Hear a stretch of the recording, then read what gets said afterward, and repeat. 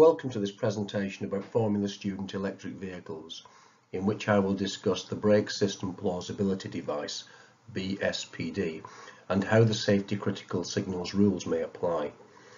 Although primarily intended for electric vehicles teams, this presentation could be of interest to combustion engine teams because the BSPD is applicable to both powertrains and is in the common section of the rules, section T. The presentation is intended for new teams, students or scrutineers that are familiarising themselves with the EV rules. This is not a how-to video. I'm not going to tell you how to design your car. I'm pointing out the key rules that you need to comply with and suggesting any pitfalls that you should avoid. First, a personal introduction. My name is Craig Powers. I'm a control systems engineer in the power generation industry. Motorsport is a hobby and I've got my own single seat racing car. I've been volunteering at Formula Student since 2003 in many roles, including in Germany and Russia, and I have been an EV scrutineer for the last six years. So let's look at the rules. Well, first of all, they're in section T, which means that they're applicable to both the EV and the combustion engine cars. The BSPD must be standalone and non-programmable. It will open the shutdown circuit if there is simultaneous hard braking and considerable power to the powertrain for more than 500 milliseconds. In the case of the electric vehicles, it's 5 kilowatts electrical power to the motors, and in case of the combustion engine cars, it's based upon throttle position. There are rules about the reset and latching. Once the shutdown circuit is opened, it must remain so until the low voltage is power cycled or the BSPD may reset itself if the condition, the fault condition, is no longer present for more than 10 seconds. Also, the BSPD must be supplied directly from the low voltage power. Standalone is defined in the rules. The BSPD should have its own printed circuit board with no other functionality on it. It should be a simple and minimal design which is easy to explain and easy to review by the scrutineer. There should be no programmable devices whatsoever and all power and sensors should be direct to and from the PCB. And my interpretation is that it should be as independent as possible.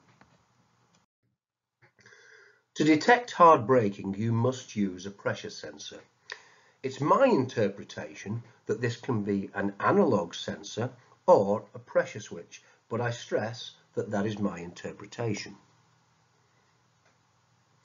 The threshold must be set to be lower than that which locks the wheels. As regards measuring power, you actually measure current. You measure the DC current to the inverter or motor controller. You need to calculate an equivalent of 5 kilowatts and you should perform your calculations at the maximum tractive system voltage so that your calculations are on the cautious side. The BSPD is a safety critical system, so please read the rules at T11.9 about that and fully understand the implications. For EV teams, they must prove the BSPD during scrutineering or technical inspection. And you can do that by an appropriate signal that represents the current in order to simulate 5 kilowatts of power.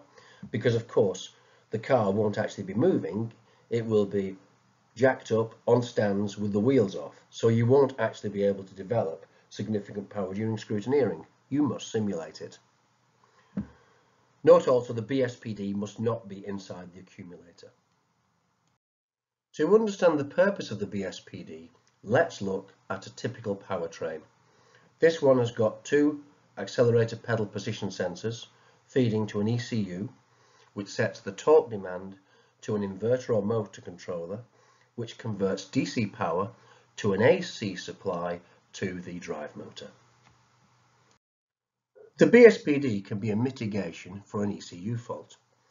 So if the ECU fails, either hardware or software, or the torque demand output to the motor controller is frozen, then the BSPD can act and open the shutdown circuit. An alternative mitigation is for a motor controller or inverter fault. So if the motor controller fails, either hardware or software, and there is uncommanded power to the drive motor, then the BSPD can act and open the shutdown circuit. You can see that we measure the DC current to the inverter or motor controller. I want to make sure that you don't get confused between the BSPD and the APPS brake plausibility. They are quite different. The APPS brake plausibility has its own rules, EV 2.3, but they have very similar wording. There's also 5 kilowatt mentioned and hard braking and 500 milliseconds of time. But this function allows you to set the motor torque to zero so that means that it can be a software function, for example, in the ECU, and there is no need to open the shutdown circuit.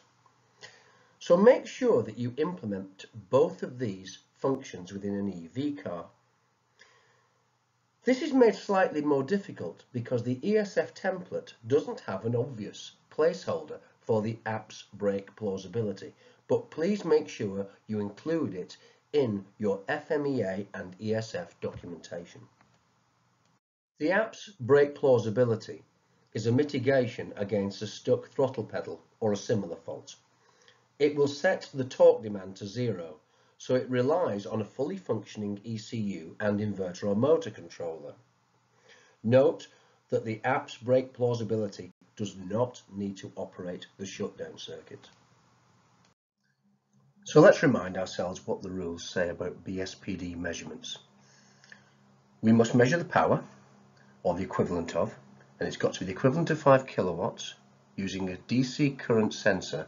So we're measuring between the accumulator and the inverter or motor controller. Several methods are available to measure current, and they include Hall effect, magnetic flux measurements, and low precision shunts relying on Ohm's law. So these measurements can either be direct or non-contact. And what I mean by non-contact is a sensor which is in proximity to the conductor or perhaps a toroidal arrangement wrapping round the conductor. We must also measure the braking effort and we have to measure brake system pressure. We cannot use a potentiometer or switch on the pedal itself. It must be pressure. There are several ways of measuring pressure. You can use an analog pressure transducer or you can use a pressure switch which will have a volt-free contact and then you can condition that using pull-up or pull-down resistors to feed into an input circuit. Whichever transmitter or pressure switch you use, make sure it's fit for purpose, that it's designed for brake fluids and has an appropriate pressure rating. Whilst I don't want to steer your design towards a particular solution, we often see operational amplifiers used as comparators and Schmitt triggers. We see logic gates to combine the brake and the power signals. We see various transistor switches and timers and typically we have a relay output, a volt-free contact, which goes into the shutdown circuit. So as we've seen, the BSPD is quite a simple device. However, it's got to be safety critical. And T11.9 tells us this because it says that anything that acts into the shutdown circuit has to be safety critical and the BSPD is such a system and the SCS rules tell us what sort of signal failures we have to deal with. We have to deal with open circuit failures, short circuit to ground, or short circuit to supply voltage. In addition, we also have to make it safety critical if there's a power loss to the BSPD circuit. For example, the fuse fails or perhaps a wire breaks or you lose a ground connection the, for the supply voltage.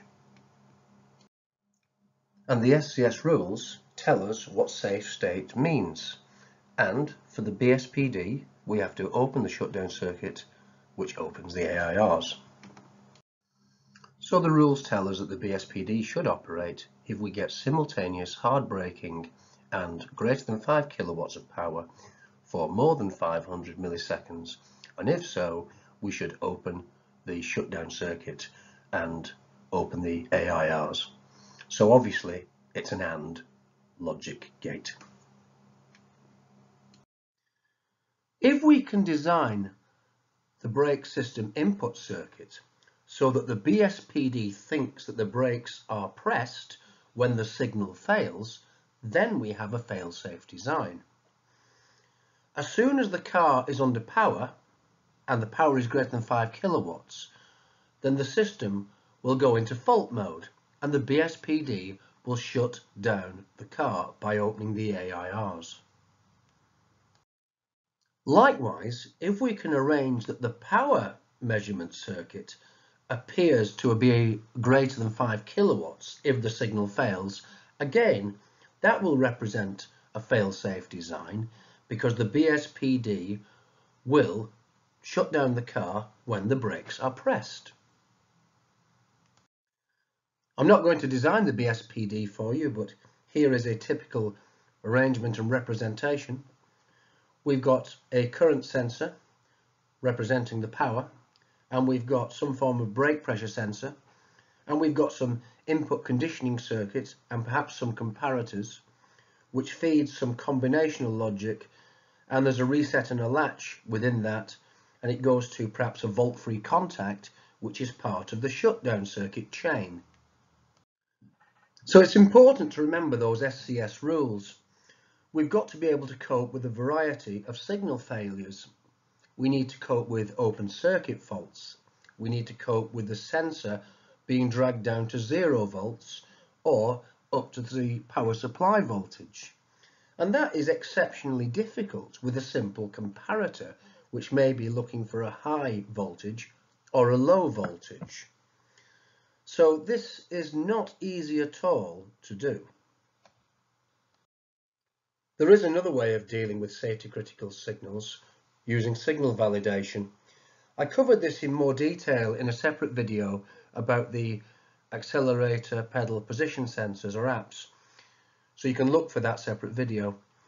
Now, I've borrowed this slide from that video and therefore I've shown the sensor circuit as a resistor just for illustration purposes but in reality uh, this would be your pressure sensor or your power measurement with some sort of signal conditioning arrangement. If you can arrange your measurement so that the valid range is inboard of the 0 volts and the supply line. So let's say that you've got a 0 to 5 volt supply line for your sensors and you can perhaps arrange for your the valid range to be between 1 and 4 volts. Then you've got a means of detecting if the signal is out of range and you can detect um, you can detect an open circuit fault or you can detect um, a signal being dragged up to the power supply lines or down to zero volts. So you can see that you can use voltage threshold checks as a means of signal validation. So if you can use signal validation to check for out of range input sensors, then you can use that signal fail flag as part of your combinational logic to create a safety critical response so that the BSPD will trigger the BSPD truth table then looks like this. If you get a faulty signal, then it doesn't matter about the other signal because the BSPD will immediately shut down the car. And that is true of either input. So we've seen that the BSPD is quite a simple circuit, but it is made more complex by the safety critical signals rules. So what should we do as a minimum? Well, open circuit faults are probably the most likely failure mode, where an entire cable is severed or a connector becomes loose. Now, open circuit faults are very easily tested by disconnecting a sensor cable. And I know that Formula Student Germany do test that the BSPD has a safety critical design by disconnecting sensors. So the most common mistake we see is not following the safety critical signals rules at all. We've seen that there's a minimum requirement of detecting open circuit signal faults because that is checked at Formula Student Germany and you may find that other competitions start to police the SCS rules more robustly. Also, teams fail to make the BSPD a fail-safe design for power failure. The output relay should be a normally open contact into the shutdown circuit. The BSPD is a very, very important line of last resort if you have uncommanded power. You will hit the brakes instinctively. Therefore, I would urge you to make the BSPD as independent as possible. You should ensure that the sensors are not routed through other systems. You should also make sure that you do not combine the BSPD with other systems such as the IMD. We often see combined latch and reset circuits and sometimes a combined output contact to the shutdown circuit. Remember that every protective device must have its own output stage. And finally, many teams arrive at scrutineering without a means of simulating 5 kilowatts of power. So make sure you do that and make sure you have all of the equipment with you and you know how to implement that test and do it swiftly so that you save time at scrutineering. So finally, understand the safety critical signals rules. This is an advanced topic and make sure that you analyze your BSPD design for the most credible failure modes. And explain your BSPD well in the documentation, the FMEA and ESF. It will help the scrutineers to review your design. If you are attending the UK competition, then read the Formula Student UK supplementary rules. The UK rules require you to perform a comprehensive analysis of your system using an FMEA. Do this. It will help inform and refine your design. So in summary, we've discussed the BSPD rules and how the safety critical signals rules add significantly to the complexity of the design. We've discussed likely failure modes of input circuits and we've discussed the bare minimum requirements that you will need to pass scrutineering, particularly at Formula Student Germany. We've discussed techniques such as fail-safe input signal design and signal validation to help detect signal failures in order that you can comply with the SCS rules. We've explained the difference between the APPS brake plausibility and the BSPD, and we've highlighted some common mistakes that teams make. I would like to stress that this is my own work. It's not official or sanctioned by any of the Formula Student or SAE organisations or competitions.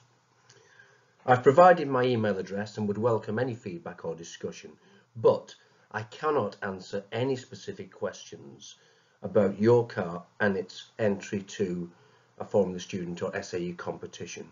I cannot answer any eligibility questions. So I would urge you to use the formal mechanism, which in the case of the UK is the Formula Student Question Database. Thank you very much.